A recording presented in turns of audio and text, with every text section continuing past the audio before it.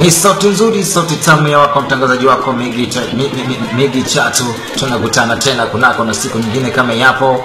Leo tunazama tena kunako na uswahilini, na maanisha we tunapopata vitu vigororo uswazi.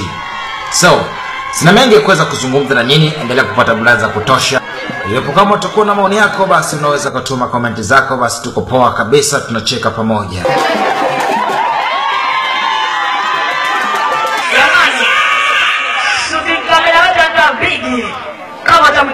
Kwenye shule aina yoyote kwa ajili ya kuchukia kuchukua matukio ya hapa na pale. Naitwa MC Lucy, MC nisioka ukiwa na sauti, yaani ukiniiga umeumia.